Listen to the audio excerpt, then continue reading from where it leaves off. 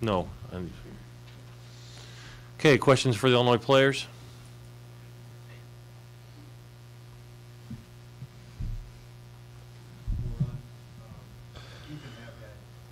uh, tw- scored or assisted on 48 of their 78 points. What makes him so difficult, and what made him so difficult tonight?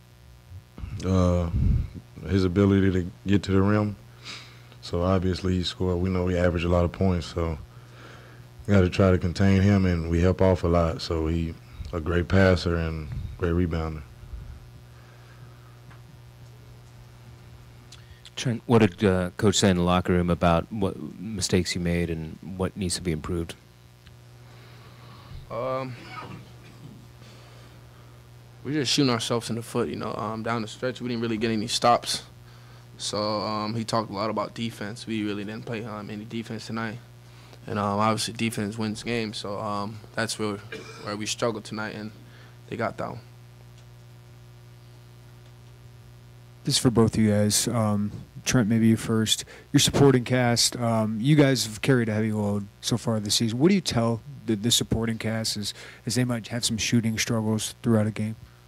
Um, keep shooting. Um, that's what we talked about. Um, just guys, got to we got to just step up confidently and um, just make shots. Um, I think that's where we're struggling right now. Um, we're missing open shots, and uh, we can't really get any points down the stretch because, you know, a bunch of our guys are uh, missing shots or in that slump right now. But um, we're going to continue to get better and better every day. So.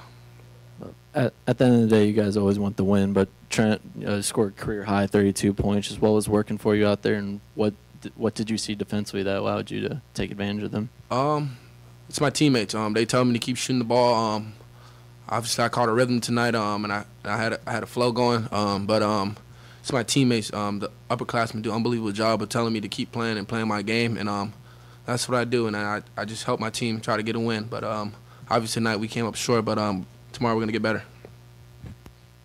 Trent, the, the coaches have just as much confidence in you uh, as your teammates. How much does that maybe mean to you or help you to know that you know they want you out there, maybe shooting those shots, and you know, when you've got the, the open looks?